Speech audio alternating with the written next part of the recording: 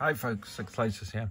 I did a recent channel update video and I said that QSP had contacted me back at the beginning of the year and offered to send me a couple of knives for review and this is the first of them. This is the one that I really kind of wanted to review. Um, it's unfortunate that obviously it arrived, well they offered it just before I had my fall, which was the 10th of February and uh, didn't arrive till uh, after I'd had my fall. And uh, so it's been sitting here waiting for me um, since since then. We're now on the 19th uh, of May. So it's obviously it's been a little while. It's a bit late. And my apologies to QSP because, you know, obviously they sent it to me to review, not to have it sit on my desk for um, several months. But anyway, here we are. And um, I, I kind of like these boxes. The Penguin that I reviewed before came in a very similar box. You know, they're not too um, over the top, but they're quite nice. And it's got description of the knife here. So it tells you it's a Hedgehog N12C28N blade. Uh, golden carbon fibre handle. So it's uh, a posh version which is quite nice. We'll see that in a second. So this is, um, it comes with it inside, of course, the box. You've got a little sticker. This is Have a Knife Day, a little penguin. Um, it's like a, oh, it's got a QSP hat on. That's what it is. Um, better Knife, Better Life. And their um, QSPknife.com website on there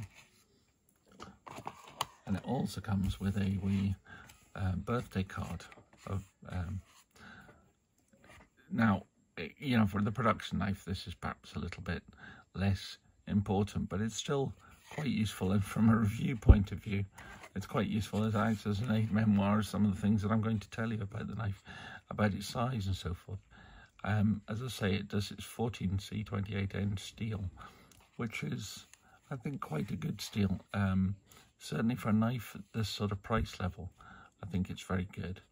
Um, we're um, a 2.875 inch blade, 73 millimeters, which is over, that's an overall length, not just cutting edge.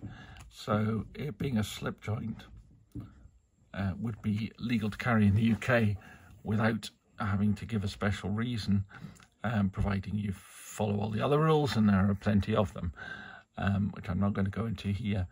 Uh, I can't guarantee that this is UK legal either. It's just my interpretation would say I would be happy to carry this in my pocket without any worries about uh, the legality of it, as long as I wasn't in a place where you couldn't have such a knife. It does say handle options, micarta and carbon fibre. Now, I expected they would send me the micarta one. I'm actually very pleased to see that they sent me this uh, golden carbon fibre. So I'm not always a big fan of carbon fibre and some like the uh, Jack Wolf Lanny's clip or Benny's clip that I reviewed had a really quite gaudy bright carbon fibre on it and um, I thought that was maybe a little over the top. I think this is sufficiently um, cheery and also sufficiently um, subdued to actually be um, really nice actually. So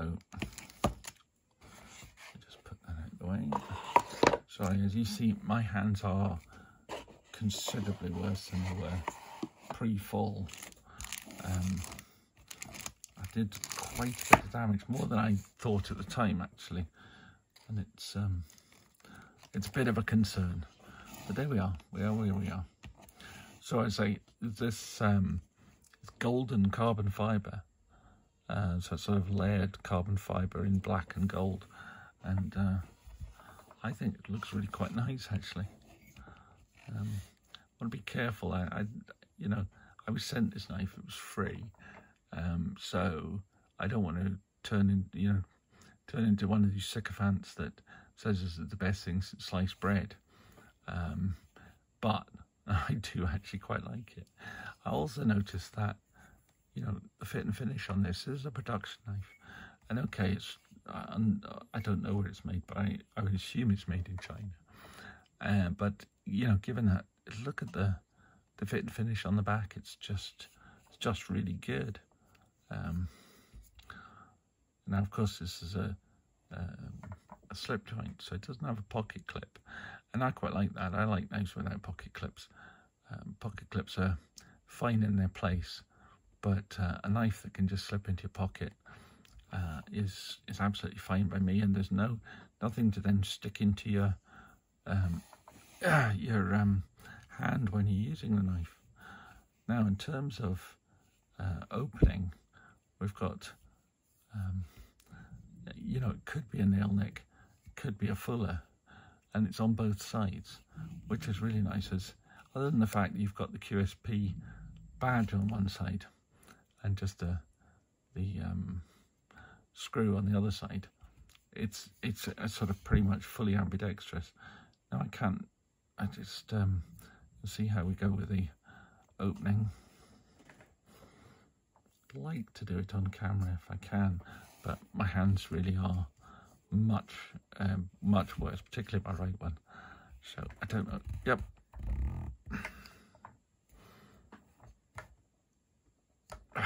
yeah even with my dodgy hands, it can be opened. Now, as a half stop, it's a good solid positive half stop actually. Just get that into that hand. There we are. So it's got this sort of, I mean, I suppose it's it's a, a classic sheep's foot blade in some respects. Um, I think that's what I would call it. You could call it a razor um, blade shape and in some ways that might be might be more appropriate particularly as this has this lovely hollow grind to it which um, makes it um, particularly uh, thin behind the edge and makes it into almost a almost a razor it's but as I say it does have this this lovely hollow grind to it it's really really nice sort of satin finish. Rather nicer satin finish than the than uh, the Jack Wolves ones. I I really don't like the the finish on those. This is much more um, even and neat. Um, and of course, being a QSP knife, it's extremely sharp out of the box. Um, yeah, I mean, absolutely razor sharp. I gave one of these to, not one of these, a QSP knife to my son-in-law, and the first thing he did with it was cut his finger, his thumb open really quite badly. Luckily, my daughter, his his wife, is a nurse, so she was able to bandage it all up for him. But uh, that, um, you know, I, I like to see that level of sharpness out of the box. It seems to me the most, what probably the most important thing a pocket knife should do is, is to be able to cut things and a decent geometry and a decent edge are two of the things that uh, uh, determine that. Talking of edge, the, the edge on this is is good. It's not 100% even all the way along its length, but it's it's certainly sharp. It certainly cuts. And given that this is a sub hundred pounds knife, um, I think that's uh, you know it's good enough to be acceptable at that price level. Um, I think if this was sort of £300 knife, I think I would perhaps have more issue with it. But um, certainly at this price level, I think it's great. A little bit of a, a, sort of rounding here at the heel of the knife, but there's also a very nice um, sharpening choil, which comes, it doesn't come out quite as far as it should because the plunge line here is comes out slightly wider than the beginning of the uh, choil, but it's it's it's it's it's pretty good. I mean, I, am struggling to find things to to really criticise on this blade, um, but that perhaps this end of the edge and that sharpening choil are areas that could be slightly improved. I think if the sharpening choil was brought out just another one to two millimeters, and it wouldn't even need any more than that, I think you'd then get just past or just to the edge of the uh, the plunge line here, and uh, then it would be I'd be struggling to find anything to criticise at all. As I say, it's got the QSP logo on there, and on the other side of the blade, the only um, writing is. See, my hands are worse. I can't even pick the blooming thing up now. Is this is the um, 14C28N? I don't know if that's in tall in focus. If it's not, it says 14C28N. Um, but as I say, I think this is a, a nice knife. Now, some people might look at that and think that looks kind of aggressive. I take the view that it's a non-pointy blade. You know, not that I would advocate you ever try stabbing anyone, but if you did try to stab somebody with this, I think you'd find it quite hard. Um, but when you want to cut things, it'll be perfect. So um, I think this is a, a, a very nice knife. It's it, the, that blade stock is pretty solid, but with the hollow ground, it does come down to a great cutting geometry. And it works well. I think that handle in uh, golden carbon fibre is really quite beautiful. I quite like the Micarta version as well, actually, but um, I've only seen that sort of in video and uh, and in catalogue and so on um, websites. But this in in in that and in person does look really quite nice. Um, I haven't tried to take it to bits. I don't know quite how straightforward that would be and wouldn't be. Um, modern slip joints can be hard to put back together. I know to my cost, um, trying to put together knives when um, my hands were a little bit better, uh, I think I would be reluctant to try with this, although it does look fairly straightforward in that you've to you've the the tail screw here. This is the sort of pivot for the spring, and obviously this is the pivot for the blade. I assume that there's some kind of washer in here on the basis that when you look at the back here, the fit and finish is good, uh, but you see between the liners and the blade, just at tip, there's a tiny little gap on either side. Now, given that there's no blade play, I'm suggesting that that's because there are washers inside there, which is um, a very good and solid thing. We also have in the back, about about there, I'll pick it up. Yeah, hopefully you can see that. There's a stop pin, and you've also got the uh, further back here. This is the pin where the um, pivot for the back spring is, and you can't see any of the back the tail screw so that's quite nice. Um, the area where one might expect problems would be if that blade were to hit that um, pivot there, but with that nice clear stop pin, uh, that shouldn't happen. And I just close this up.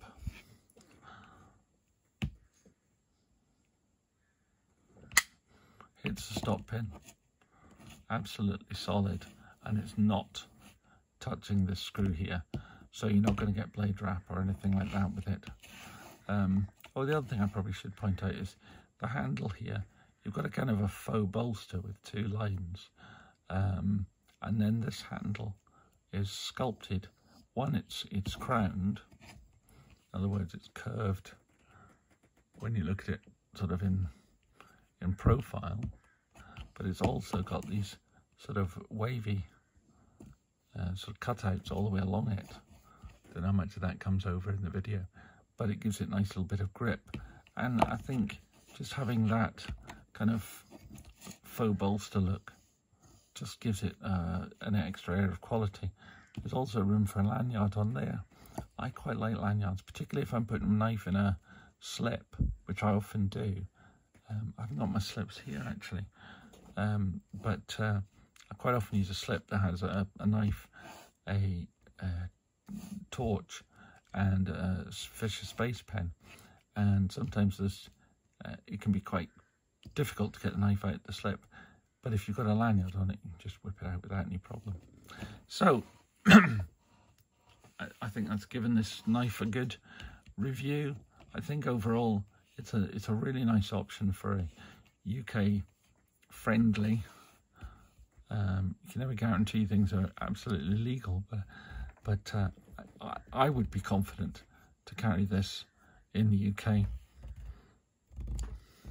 And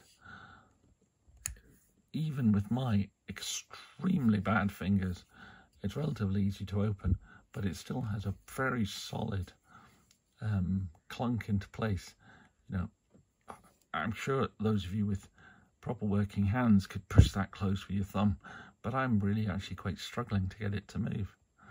Um, so I think that's you know, it's a good solid lockup, uh, which is important on a slip joint because you've no lock to protect you. You only have your skill with a knife and uh, the strength of that spring. They're the only two things between you and cutting your fingers. Um, but if you grew up with a slip joint as I did, I don't think um, it's really much of an issue. And with the sheep's foot blade, you're never going to be stabbing anything. Um, and you're always going to be cutting in an action which is going to be pressing onto the blade and, you know, not going to unlock it. It's pushing it back into the opened position with any cut that you're likely to do. Right, so I will leave that at that. Thank you again to, for, to QSP for sending me uh, this gorgeous little knife. I have one more from them, which will come up shortly, but I think I'll it won't be the next video because I think it'd be quite nice to mix things up a little bit and, uh, you know, uh, keep you all interested. So if you want to see it, the other one and some of the other knives that are coming up in the meantime, then please um, remember to subscribe and uh, it would help me very much if you tick the like button as well. Okay, thank you very much, folks. Bye.